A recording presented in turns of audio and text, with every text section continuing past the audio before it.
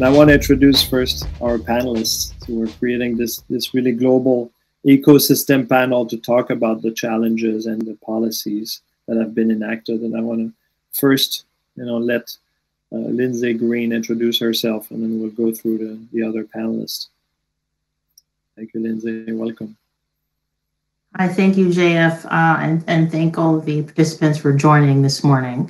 Uh, I'm Lindsay Greene. I'm the Chief Strategy Officer at the New York City Economic Development Corporation, and we are the city's main uh, economic development uh, policy uh, organization, and we work with industry partners and nonprofits and community groups to undertake a wide range of activities that help spur development and growth of the economy, and particularly startups and younger companies and, and smaller businesses and micro businesses. Uh, so it's uh, it's a pleasure to be joining you all today. Uh, we've got a, a lively discussion uh, ahead. Thank you.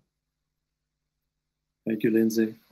And I want to introduce uh, next Hagay Levin, who's also Chief Strategy Officer of a similar powerful agency, leading agency, the Israel Innovation Authority. Welcome, Hagay. Hello, everybody. Hello from Jerusalem and uh, from Israel. It's uh, afternoon right now. Thank you. And thirdly, I want to introduce Edwin Chow, Assistant CEO of Enterprise Singapore. Welcome, Edwin. Thank you, JF. Good evening from Singapore to everyone on the call. See, it's already sunny in the middle of the day in Singapore. so I want to kick us off uh, really talking about you know how startup ecosystems everywhere and startups themselves were hard hit by the COVID crisis. And I'd like to hear from you what were the biggest challenges that your startups faced in your city or your country. Who wants to start us off? Uh, maybe me, JF? Yeah, go ahead, again. Okay. Uh, first of all, we are still facing, uh, I think, uh, challenges. Uh, the situation is constantly evolving. Uh, we can uh, identify various uh, areas in which uh, there are challenges. First of all, as, as you said, JF, earlier, uh, we are very worried about the financing situation. Israel, well, maybe you told me, I'll take the first minute for a bit of bragging. Israel is sixth in your uh, uh, in your uh, ecosystem report, we maintain a very high position, and Israel. The high tech sector in Israel, as everybody knows, is very is one of the leading sectors. we are uh, about 9% of the workforce in Israel is in high tech, leading the world in a sense. We are very high in R&D investment, but Israel uh, R&D investment is mostly in the private sector, not, not governmental sector, and, and most of it comes from foreign investors. Now, uh, as the whole world uh, uh, is in this kind of crisis and all the investors are looking to see what's going on and are becoming more risk averse, we are seeing a, a decline in investment. Uh, currently, we see about 20% decline in investment, and we are very worried. Also, the startups are worried that uh, this decline will continue. Uh, and uh, their runway, their uh, available cash will dry out. And this is one of the main challenges. And also, this is one of the main issues that us as a government could support and help maintain this ecosystem. Our main um, worry is that uh, we might uh, lose an entire generation of startups. And uh, I mean, this crisis will end someday, and the main goal is to to maintain a vibrant uh, ecosystem, vibrant startup ecosystem. So once this uh, crisis will will will vanish, we can uh, uh continue running. We are also right now running, but we will, uh, we will be able to continue run and run faster and, and maintain the growth and uh, importance of this ecosystem. if later on I will tell about some of the things that we are doing here in Israel. Thank you. Thank you, Hagay. Lindsay, uh, thank to add other type of uh, challenges uh, that you've seen in New York? Yeah, uh, you know, I just I, I want to just start off. Like I think um, just reiterating uh, just how unprecedented uh, the COVID challenge has been for for everyone uh, across the world, not just New York City. Um, we've had um, was a it, it's it's it's a it's a disease that has um, you know we a lot of people have have lost loved ones and um, it's just it's been a, a, a bit of a, a, shock to the system. But i think the the thing it has taught us uh, is that you know the city is is really resilient uh, and it remains that way um, across the board. And that it, it, it's reminding us that even in challenging times um, you know never never count out new york city the things that make it um, really unique and vibrant um, have really been a core part of how we've been able to manage through the crisis so far and how we see ourselves uh, slowly uh, coming out of it. You know, we were um, just, you know, focusing on what we were doing as an organization. You know, like I said, we're a traditional economic development or- organization focusing on strategic investments. And in a matter of days in early March, you know, we were able to transform ourselves into a hybrid mashup of a biotech startup and a manufacturing corporation, you know, uh, consultants and advisors that help set up hospitals and food distribution centers and help people build ventilators and gowns and face shields. And and and we did that by leveraging uh, and working with partners and people across the city that we've worked with for uh, years and and and decades in some cases uh, to really um, activate the innovation and creativity and tenacity that really is is is sort of embedded in New York City and so while there have been challenging spots for some of the startups, um, there's also bright spots as well. So I don't I don't want to lose sight of that. Um, I think you know the the startup ecosystem in particular, um, as you know, I think it it really varies across the system where you saw the impact. Uh, startups that were uh, well funded and connected, I think, uh, made the transition to working from home and, and were able to to to weather uh, the early part of the crisis uh, successfully. And startups that were maybe not as well resourced you know groups run by women and people of color and, and, and underrepresented founders generally have had a harder time. Um, so i think our, our focus going forward is going to be to sort of redouble down on our efforts to to work with those uh, subsets of the startup sector so that we can help them get to that same level of resiliency that that we have we have seen through the crisis thus far Thank you, Lindsay. And Edwin, as you, we and I were talking back in, in March, and you were telling me how for you it hit a little bit earlier. Right? In, in, February, you started feeling it and you started preparing and doing some of the things Lindsay was talking about in New York City. Tell me, tell us more, and maybe also tell us what was the impact on on the startups in Singapore. Well, thanks, uh, Thanks, JF. Yes, absolutely. I think uh, in our case in Singapore, uh, we were amongst the first uh, wave of uh, cities and countries uh, hit by uh, COVID 19. and I think the impact has been across the board. It's unprecedented. I mean, just, just to quote what some of the other panelists said earlier, I mean, Singapore's uh, economy uh, was hit, has been hit badly. I mean, our, our forecast for this year is expected to be somewhere between negative seven and negative four percent growth. Um, and this and uh, it's uh, our government has uh, responded to the best of our ability. I mean, we've, we've pumped in about close to something like 12, 13% of our GDP, 100 billion Singapore dollars into the economy uh, and I think um, startups, like um, all the other businesses operating in Singapore, uh, has been affected. Uh, shocks in two dimensions. Uh, on the demand side, especially if uh, the startup is uh, supporting sectors such as travel, um, hospitality, food and beverage. many of them have seen, you know, 50, 60, 70, some even 90% decline in businesses. So that's a huge impact on cash flow uh, there, there's a lot of concern, I think, from, from our point of view about uh, jobs, about uh, um, obviously not just from startups, but also uh, bigger companies, uh, but startups in particular, because they hire some of the best and the brightest in our ecosystem. Um, and we have put in place some policies to try and mitigate job losses. and I think, just like our colleague from Israel was saying, we have we have concerns about the investments drying up um, startups finding it more difficult to fundraise. Um, but even there, I think I think uh, just like Lindsay says, there, there there are also green shoots in this sort of uh, crisis. Uh, some startups have been able to pivot uh, to seize growth opportunities in, you know, whether it's in uh, working from home, IT services that support that, uh, e-commerce, biomedical startups that are developing some new diagnostic kits and ventilators. So it's not all gloom and doom, not across the board at least, and there are still some green shoots. And I think Enterprise Singapore, as the government agency responsible for uh, startup and SME development, we are very much uh, keen to retain uh, the good bits of our ecosystem and to see how we can help them, uh, our companies pivot to seize uh, growth opportunities uh, that come out from, from every crisis.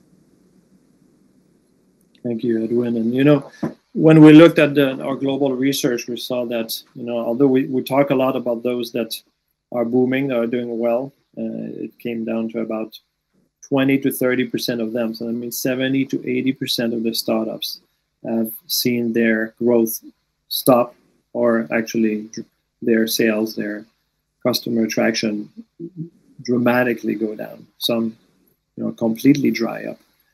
Um, so what do what do we do for those? Right? And I'd, I'd like maybe go back to, to you, Edwin, and say what, what is you know we hear with 1,500 policymakers, ecosystem leaders, what is the, the one top best policy that you've seen or initiative or program that you've enacted in the last few months for your for your startups to help them those that are that are hurting well i'm going to cheat a bit and and, and offer you two um, the, the, the, first one and i think the, the most impactful one is uh, the uh, jobs support scheme that our government rolled out uh, at the start of this crisis. Uh, and this covers all companies, uh, not just startups, but startups have benefited, obviously. it's essentially um, uh, the government uh, ensuring that companies continue to employ their workers by subsidizing uh, as much as 75% uh, of their payroll, right, for all citizens and permanent residents of Singapore that are employed by companies registered here uh, uh, the government has uh, supported some portion of their wages. for those companies less affected by COVID, it's about a quarter, 25% of payroll. Uh, for companies, uh, say startups in, as I mentioned, the aviation, hospitality space, uh, it goes up to almost 75%.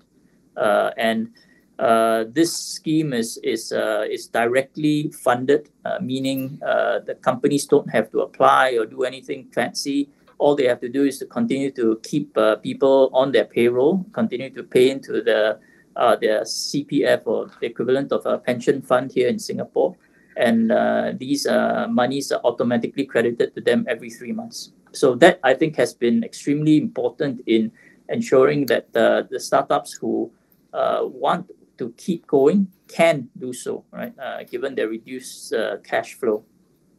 The second initiative was something that was uh, announced uh, more recently by our Deputy Prime Minister. It's a it's a uh, we call we are calling it the Special uh, Situations Fund for startups.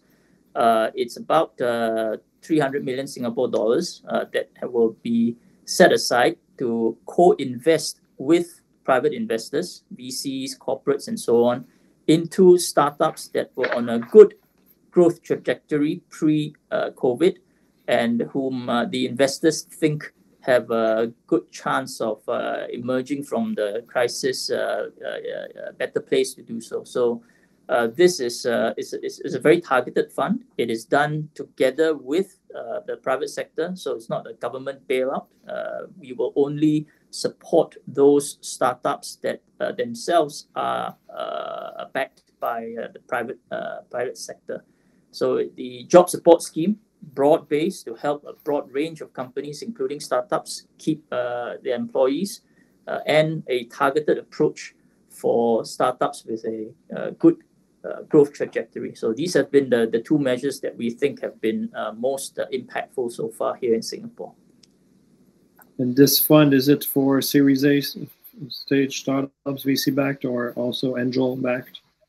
Both of them? Uh, it's a full range, uh, angel all the way through to Series A slash B. Um, we, we, we have a cap of about uh, 10 million Singapore dollars per uh, investment per per deal. Uh, so it, it does uh, address the, the, the, the, financing needs of some of our larger startups. But we, we believe that the bulk of the uh, beneficiaries, I mean, as, as you note in your report, you know, we are still sort of deemed an emerging ecosystem. Most of our startups are still in that sort of uh, A, B phase or C to A phase. So we think uh, they will be the ones that will that will benefit most from this fund. Thank you. Hagay, tell me what what did you do first? I know that you've you've changed some policies and you accelerated them. Tell me, tell yeah, us exactly. more. I'm going to also to cheat a bit as uh, Edwin and uh, speak about more than one silver bullet because uh, I think also that uh, there isn't one silver bullet we are trying. I mean, we're trying to innovate. this an uh, innovation ecosystem, and also us, the government, we try to innovate and learn yes. as the, the situation evolves. Um, the first thing that we do we did is uh, is trying. We understood that uh, things are evolving as everybody here, I think, uh, feel around the world. The situation is evol- evolving really fast, and we need to react really fast.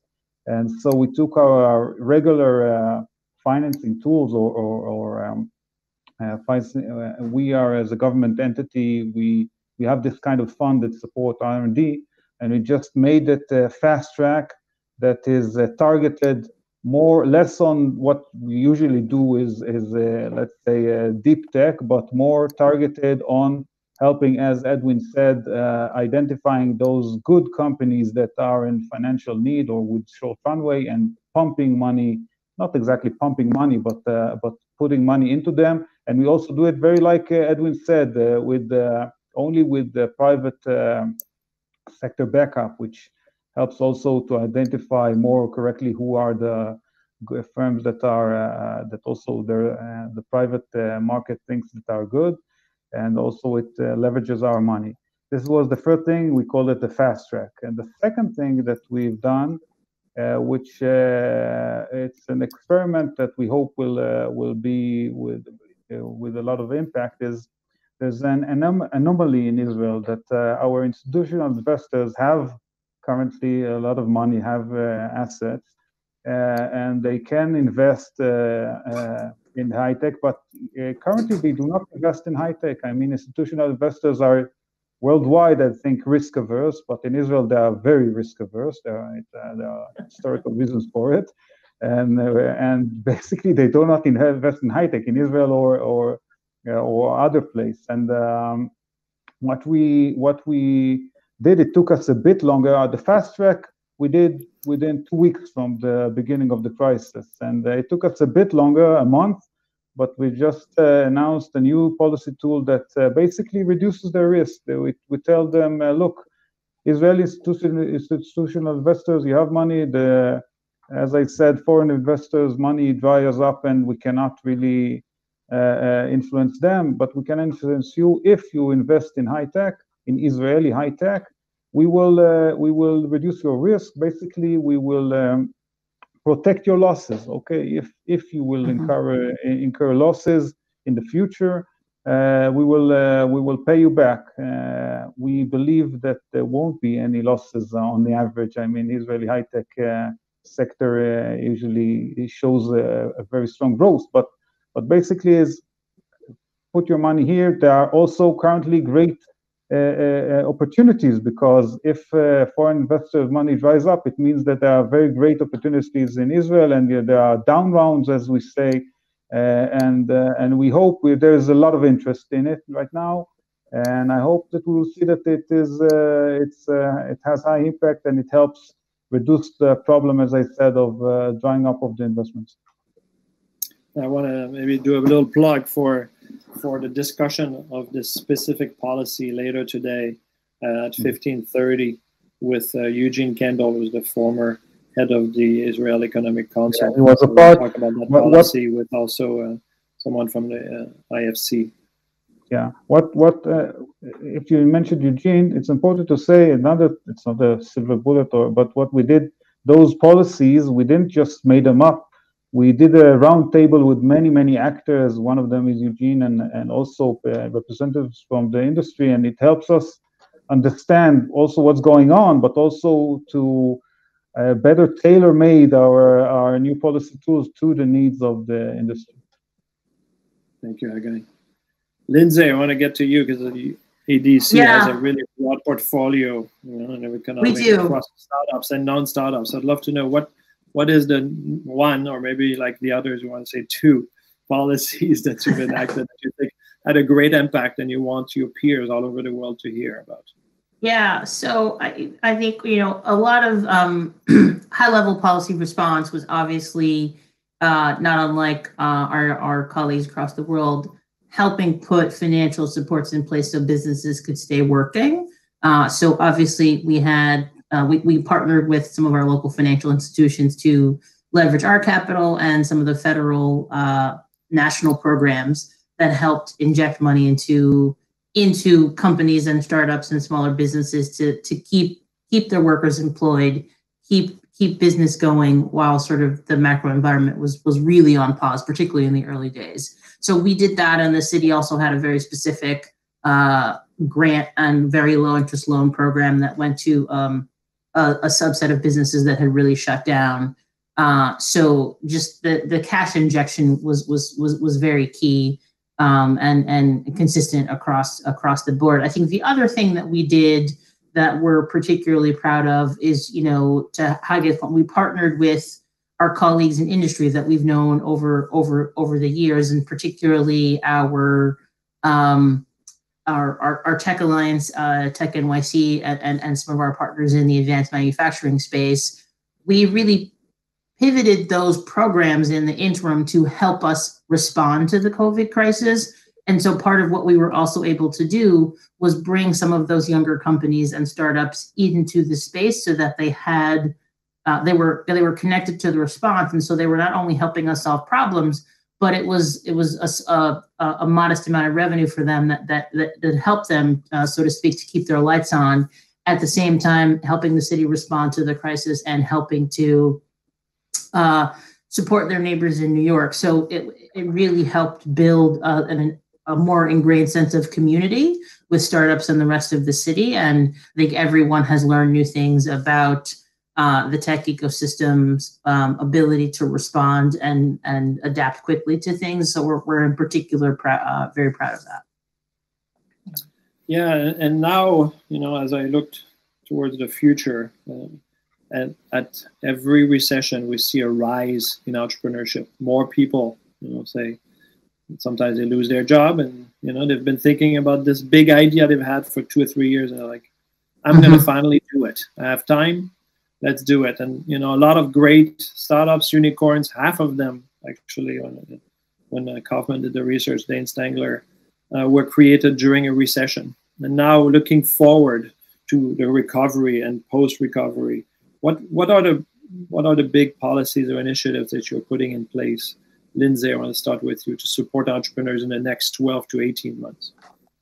Sure. So uh, we we are in the process of of actually uh, revisiting a lot of our, the entrepreneurship programs we had pre-COVID, uh, and and looking back at how how do we tweak them? What do what are the pieces we need to add uh, to to help bolster the efforts in a sort of COVID response period? Uh, so we're working with our partners to do that. Capital will be a huge part of that. We had uh, a venture fund that was in its early days that um, that we hope will continue to deploy capital. Uh, you know, in the context of other um, other recent commitments, really in response to a lot of the uh, race motivated violence and, and racial justice discussions that have been happening. There are uh, renewed commitments from larger financial institutions to help uh, direct capital to startups that are run by women and minority entrepreneurs, and we want to uh, work with them and capitalize upon that, so we can actually help channel those funds to to the entrepreneurs that we've seen have uh, high rates of success with the proper supports and scaffolding that typically come from being in the majority group that we help put together through our ecosystem and our programs, the advising, the mentoring. Um, so we're going to be focusing on uh, programs. apologies. Programs like that um, to to really help um, to help capitalize on that that wave of, of, of creativity and innovation that comes in the context of, of the moment we're in now. Back to you. You know, what tell us what are you preparing to support and harness this this predicted rise in entrepreneurship throughout the downturn? JF, you were telling me or Edwin? We didn't hear you. Uh, I said Edwin. Right. Edwin, um, uh, could you hear my question? Just asking you, what no, what are you preparing to support this uh, this rise um, in entrepreneurship and harness it? I think it's uh, it's uh, again a sort of a twin twin approach that we are taking. Um, the now that we are past the well, we're not past it yet, but we have now that we have introduced uh, policies to mitigate the cash and financing uh, challenges that startups face. We're now paying uh, a lot of attention on the on the other side of the equation, the demand side of the equation. How can we um, the, I think what what the the COVID the pandemic has shown us is that uh, there are multiple uh, problems or multiple opportunities uh, that uh, companies can adapt and pivot to uh, in order to sort of um, take advantage of the of the of the so-called new normal, whether it is new new ways of organizing conferences, uh, ways of uh, ensuring uh, attractions and and tourist spots can reopen, that people can travel safely, etc. So all of these to us represent uh, opportunities for startups to pivot, to develop solutions, to solve problems that others are prepared to pay to solve. And uh, Singapore benefits from uh, having some of the largest, uh, you know, companies, uh, multinationals, large local conglomerates uh, with their headquarters and their business units uh, based here, uh, and they are also looking to figure out what they need to do to change the way they operate. And we are trying to bring these demand for solutions, solutions for the post-COVID world, and match them with the solution providers the startups primarily, but also SMEs, and uh, trying to catalyze and support these sort of uh, innovation efforts. Uh, uh at the end of which we believe uh, the startups can uh, gain a customer, and the larger companies and the government agencies like us will have a, a, a, novel solution to a new problem. So, you, focusing on these, I think we have one minute left. Is, so. the big thing. Thank you. Thank you, Edwin. One minute left. Agai, any big thing that you're preparing for the next uh, 12 months that will help? First of all, uh, we took, yeah, we, first of all, what we feel, what we see is we see a wave of, uh, of uh, new ideas, but we see that the part that most dries up, the investment most dries up, is the seed uh, stage. So we are currently thinking about uh, um, uh, Uh, something that uh, uh, a tool, a financing tool, maybe co-investment tool like uh, you've uh, suggested in your previous report, JF, that is directed at the seed stage. Uh, as uh, as uh, Lindsay said, we are the basic support is financial, but this is something that we think. I mean, this wave of innovation that you talked about, JF. If currently we see that it it it find it very hard to to find a financial support, so this is Another thing that we are thinking to direct our support or to make a new policy tool that directs its support at that stage. Thank you so much.